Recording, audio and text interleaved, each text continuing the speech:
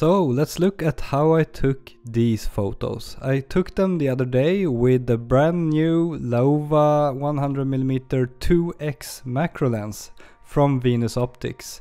They were kind enough to send me a review copy of their new lens and I was really excited to try it.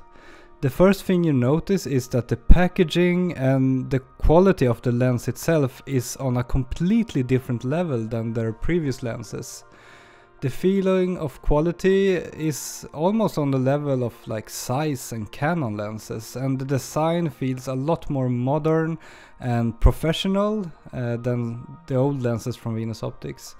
Look at this matte black finish, it almost reminds me of a Zeiss Otus lens. Another thing you notice when you hold this lens is that it is pretty big. Here it is compared with a couple of other Venus Optics macro lenses and they are for Sony FE mount which adds a bit uh, to the length so I'm attaching a Metabones adapter here to make the size comparison a bit more fair. And yeah, it is considerably bigger and also heavier than the other Venus Optics macro lenses, but it's for good reason. It has 2x magnification and it covers full frame on all focus lengths, so of course it has to be big.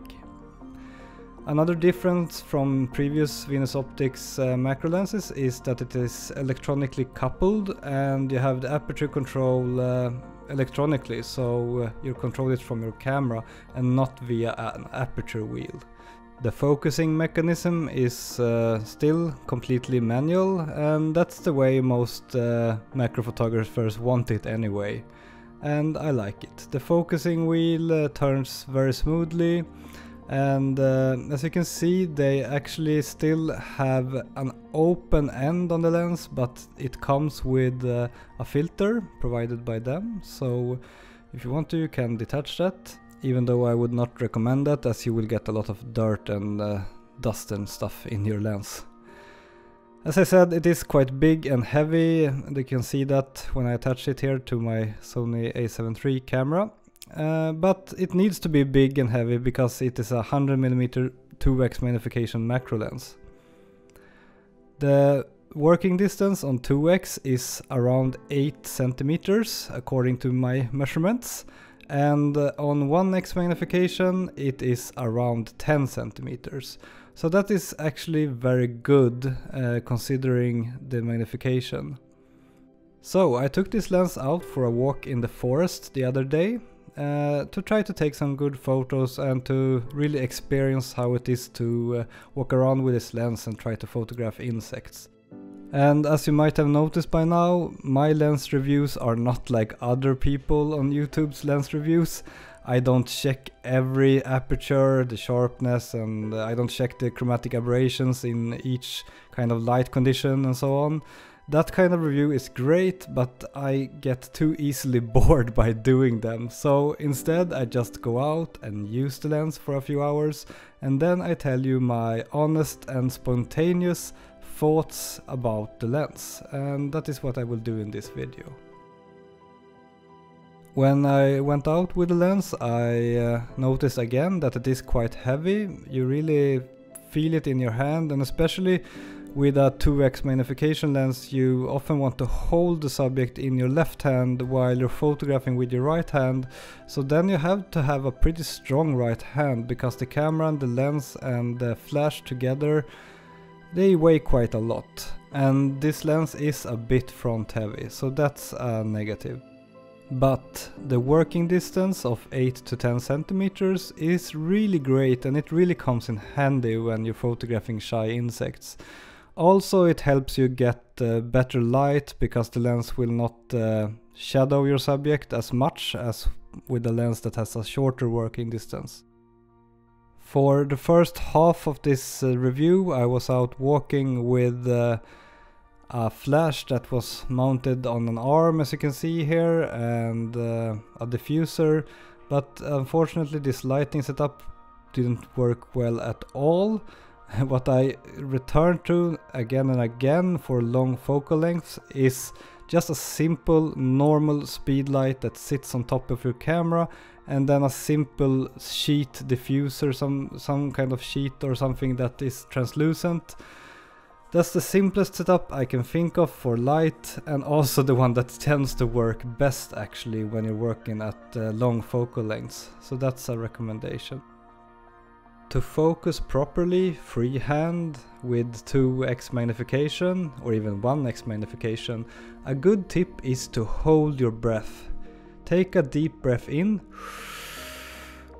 and then try to nail the focus while you're holding your breath and you will find that it's a lot easier to actually get the focus in the right place. Here you can see my simple lighting setup that I talked about just before. It's a normal Godox TT685 flash, you could use any flash at all. And then uh, this diffuser that I leave a link to in the description, it is very cheap and you just put it around your lens. And with that you have a really good lighting setup for a long focal length macro lens. This setup does not work as well on shorter focal lengths because then light, the light needs to be closer to uh, your subject. But for long focal length with a long working distance, it's great. I don't feel it is a lot harder to focus a 2x magnification macro lens than it is to focus a 1x one. The focal plane will be thin anyway, but the 2x lens will bring you a lot closer to your subject, so that is really nice. And actually for a beginner I cannot really see a good reason anymore to one, buy a 1x magnification macro lens when you could buy this lens.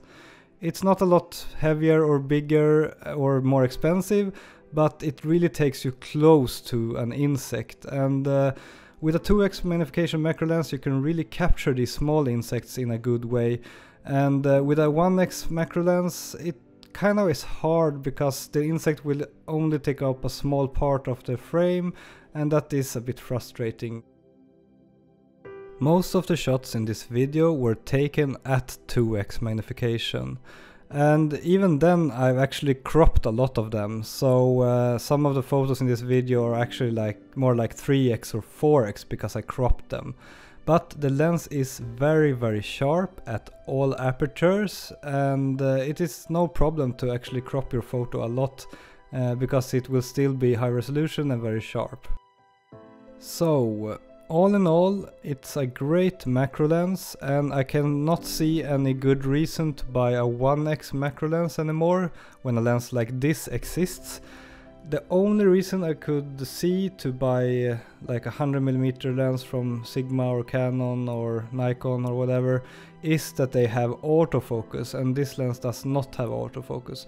So if you're planning to use your macro lens uh, also as a portrait lens or whatever and you really want autofocus for that, that might be a reason not to buy this lens. Otherwise this is uh, probably the lens that will be my go-to recommendation as a good macro lens both for beginners and more advanced users.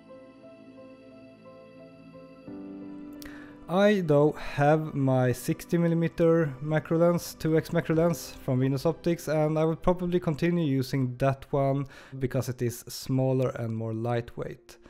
What I really cannot do with that lens though is to use it on uh, longer distances like for a portrait or something because it is made for APS-C so on that distance you will get very heavy vignetting.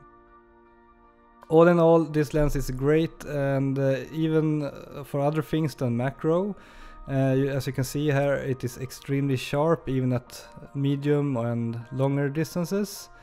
This was shot maybe on a 2 meter distance and it is absolutely pin sharp at f2.8 and at all other apertures.